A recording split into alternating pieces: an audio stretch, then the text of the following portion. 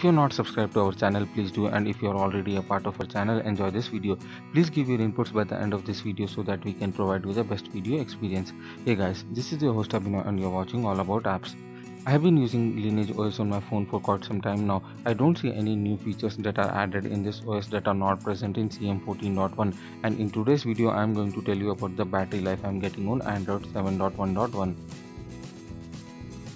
With this OS you will be definitely getting a day's battery without any doubt. As you can see here screen is using most of the battery and Lineage OS is next in the list.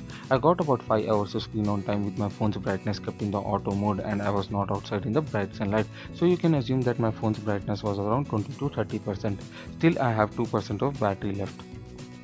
Previously I had CM14.1 on my phone and I used to get around 4 to 4.5 hours of screen on time.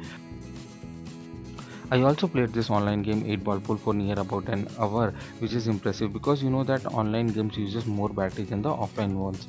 Wi-Fi was on all the time even though it is not as battery consuming as compared to 3G and 4G network but I am just mentioning this.